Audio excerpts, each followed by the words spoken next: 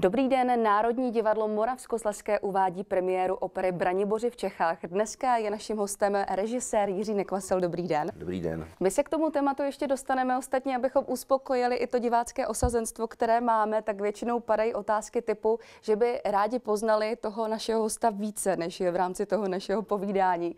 Tak co jste třeba za znamení? Já jsem narozen ve znamení střelce. Uh-huh, já jsem třeba vodnář, kdyby to taky někoho zajímalo. A pijete radši kávu nebo čaj? Piju více čaj, ale občas si dáme kávu a dobrá káva taky je někdy radostí. Tak to máme taky podobné. A je vůbec prostor k tomu, abyste si vychutnal šálek čaje nebo kávy i během nacvičování, třeba opery Braniboři v Čechách? No, to je trošku horší samozřejmě na to vychutnání, ale uh, prostě dobrá káva pro pozbuzení je samozřejmě velmi příjemná.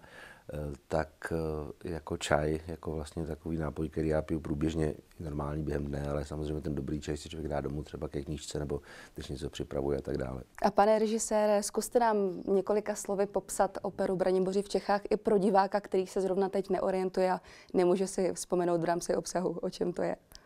Tak Braniboři v Čechách je první uh, operou Bedřicha Smetany.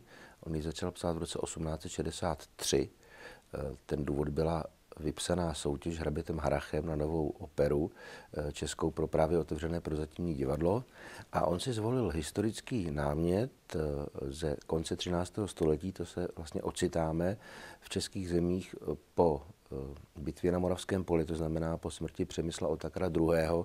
Za jehož rozvoje vlastně Čechy nebo České království byl jednou z největších a nejrozsáhlejších evropských zemí, velmi mocnou.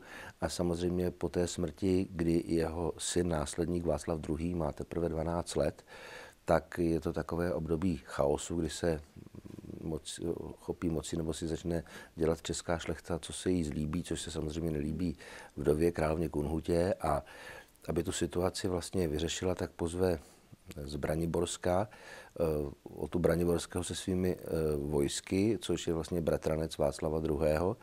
A samozřejmě místo toho, aby tam dělali pořádek, tak si tam tak jako samozřejmě drancují a dělají si, co chtějí, což je poměrně, poměrně logické. Takže to je takové období jakési, ono se nedá říct okupace české, ale takového mm, období, kdy české zemi nebylo nejlépe, což samozřejmě ten uh, historický námět uh, sloužil Smetanovi jako jakási alegorie i pro situaci uh, 60. let 19. století, která samozřejmě nebyla, byly horší období třeba 50. nebo velmi ty represe potom v roce 1848, uh, ale jak si o tom postavení, využívání té české země, ale také zároveň o zrádcosti a tak dále. Takže je to vlastně takové velké historické plátno, ukotvené eh, v konci toho 13. století eh, v nějakých historických podkladech. Zároveň je tam i určitý milostný motiv.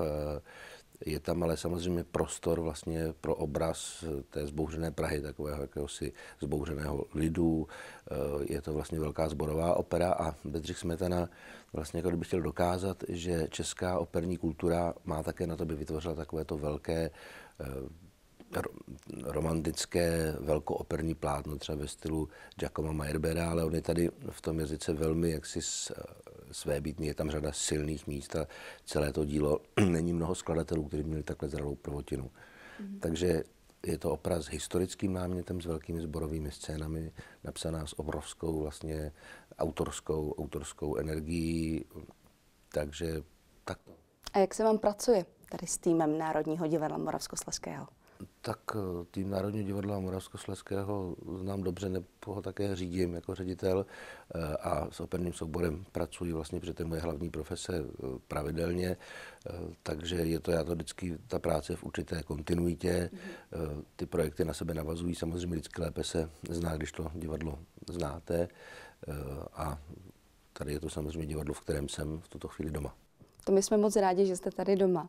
Ale opera přece jenom není jenom to, na čem pracujete. Vy jste udělali nějaké dokumentární pořady nebo pracujete s českou televizí na formě nějakých zábavných pořadů. Tak když se vezmu, nebo když to takhle bych to chtěla slyšet jako divák, co je pro vás to, co vás baví úplně nejvíce z toho, co děláte?